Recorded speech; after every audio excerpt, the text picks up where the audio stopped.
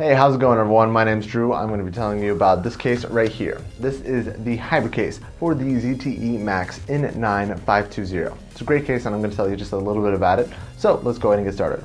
First of all, let me just tell you that I'm going to be demonstrating the functions of the product with the all black one right here. But that doesn't mean that this is the only color we have. It actually comes in multiple colors. And you can go and, get, uh, go and check out all the other colors for this case and all the other cases for this phone at celljewel.com. We have all your cell phone accessory needs and phenomenal prices. So definitely come check us out and you should also like us on Facebook and subscribe to our channel.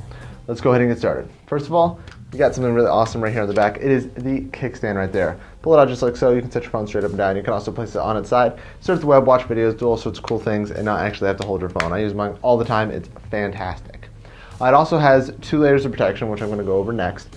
Uh, the first layer right here that I'm going to talk about is the silicone skin casing. It is rubberized, so it is shock absorbent. It'll absorb vibrations that can rattle the parts on the inside of your phone or possibly crack your screen. Provides excellent grip for your fingers, so be less likely to drop it, which is fantastic and it's a good case right here.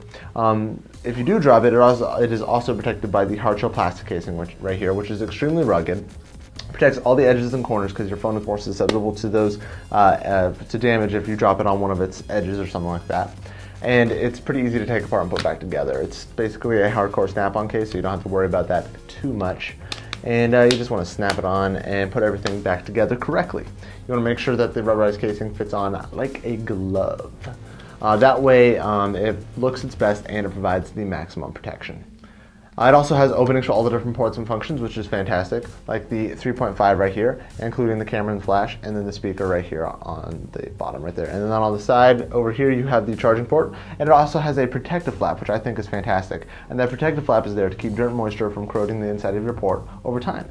One last thing is that has a ridge going right around the front right here, and basically what that ridge does is help separate your phone screen from a flat surface. So if you were to drop it on the floor, boom, there's just that little space hopefully protecting your screen. So that's a really good case right here, guys, and you should definitely go ahead and buy it today at celljewel.com.